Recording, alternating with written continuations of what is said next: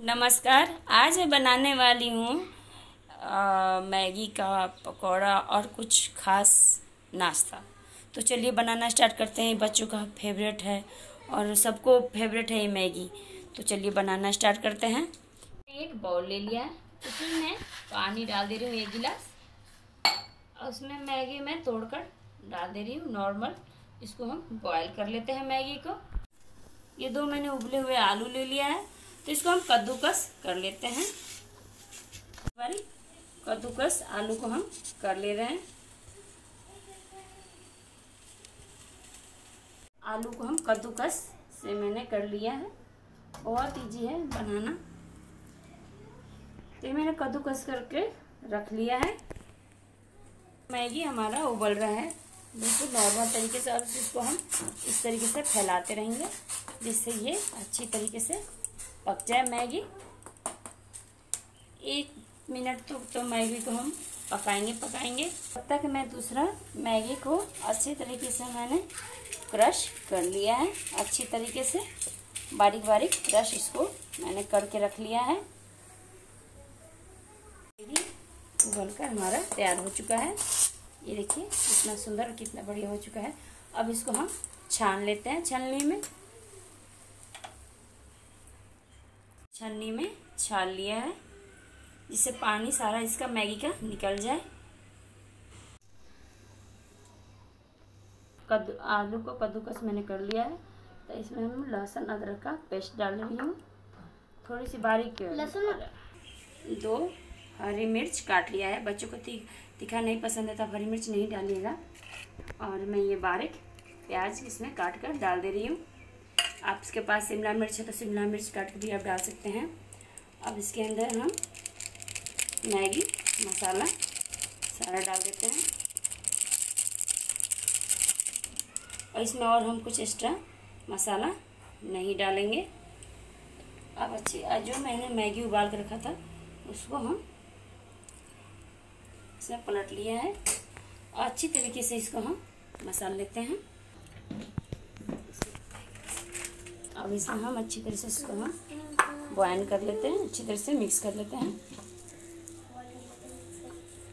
अब हम इसको एक तरफ़ रख देते हैं।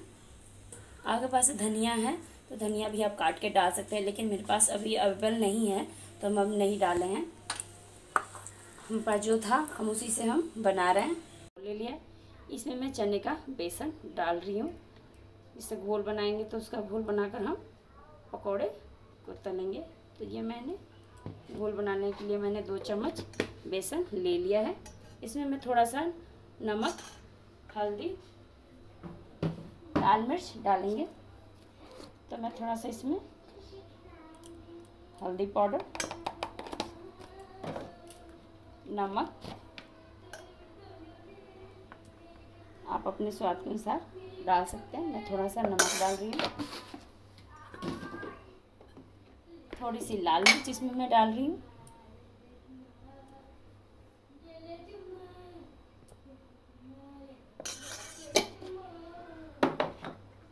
और हम सभी को मिक्स कर लेते हैं।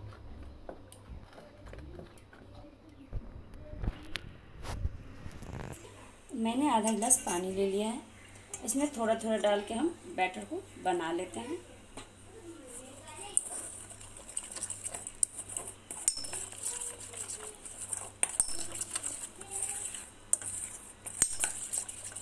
बैटर बनाकर तैयार कर लेते हैं अच्छी तरह से। गुटलियाँ एक भी नहीं रहने देंगे लम्स इसमें।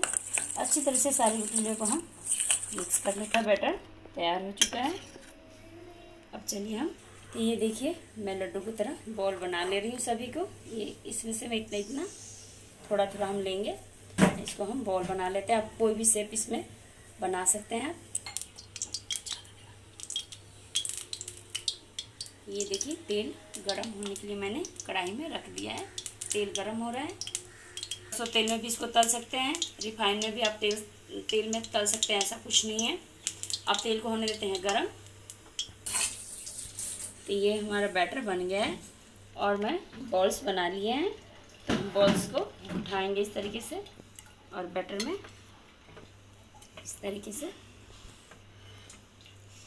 इस तरीके से हम बैटर में मिक्स करेंगे और हम इस पर ऐसे डाल के हम आपको बताते हैं।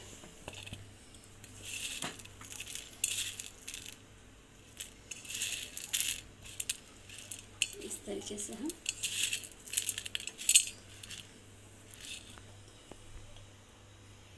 अब तेल हमारा गर्म हो चुका है। अब इसके अंदर हम थोड़ा हाथ से इस तरीके से हम बाँध देते हैं जिससे ये चिपक जाएगा। अब इसको हम तेल में डाल देते हैं। इसी तरीके से हम सभी को बना लेते हैं। उसको इसी तरीके से हम बाँध लेते हैं। फिर हम आपको इसी तरीके से सारे सारे बॉल्स को बना लेते हैं। फिर हम इसको तलेंगे। और सभी को हम तल के आपको हम दिखा रहे हैं। हाँ। देखिए। सभी को मैंने इसमें डालकर अच्छी तरीके से हम इसको फ्राई कर लेते हैं। मैगी को पकौड़े।